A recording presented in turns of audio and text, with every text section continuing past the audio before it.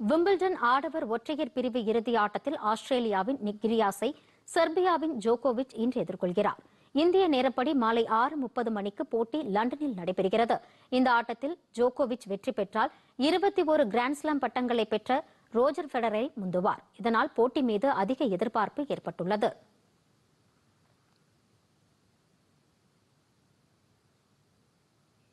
முன்னதாக Wimbledon tennis மகளிர் ஒற்றையர் பட்டத்தை கஜகஸ்தான் வீராங்கனை எலினா ரிபியாகினா கைப்பற்றியுள்ளார்.